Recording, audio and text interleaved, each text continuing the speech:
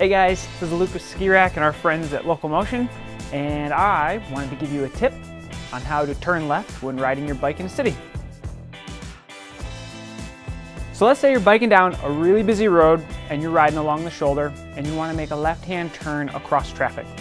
You always want to make sure you take a look over your shoulder, make sure the traffic is safe. You want to signal and move over and take the lane. And then when you have a safe gap with the oncoming traffic, you want to, again, look over your shoulder, signal, and proceed to make the left-hand turn.